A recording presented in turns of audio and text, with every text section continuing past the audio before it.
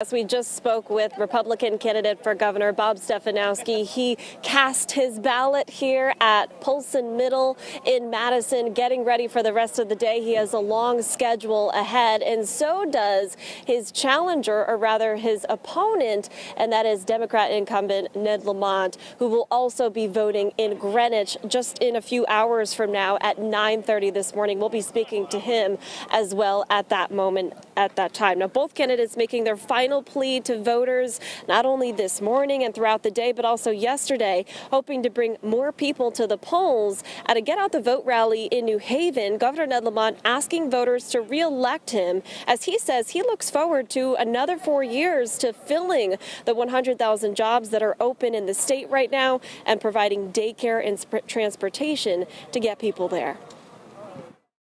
Look, I've been working my heart out for uh, four years as your governor and a number of months here as a candidate. Now it's up to you.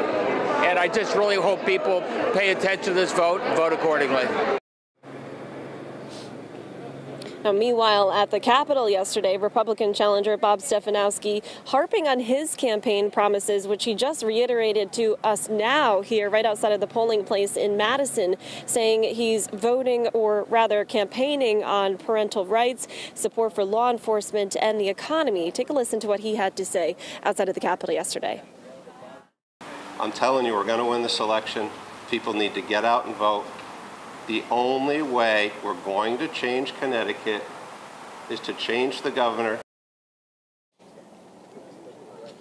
Now, once again, you're taking a live look or a look at what just happened live, where Stefanowski voted here at his polling place in Madison. That happened this morning, just minutes ago. We were able to speak with Stefanowski shortly afterward. We know that Governor Ned Lamont will also be voting at his polling place in Greenwich, which is happening at 9:30 this morning. Stefanowski coming here with his family, with his daughters and his wife, saying he's making it a point to have them here with him, not only to to support him, but also to, again, reinforce one of his campaign policies, which is all about the Connecticut family. Once again, taking a live look here, you can see we do have some people for other roles in the state now campaigning outside of this polling place.